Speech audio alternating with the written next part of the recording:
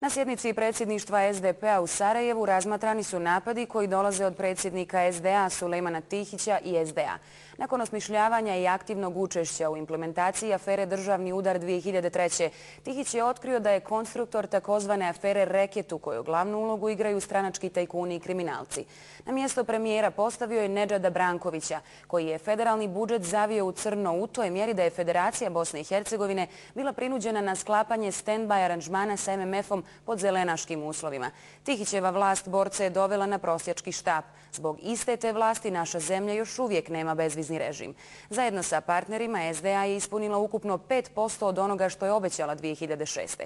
Zato će Sulejman Tihić, SDA i koalicioni partneri 3. oktobra biti izloženi sudu obespravljenih radnika, ucijenjenih boraca naše države, nezaposlenih i propašće na isti način kao što su propale i montirane afere protiv SDP-a i njenih čelnika, navodi u saopštenju SDP.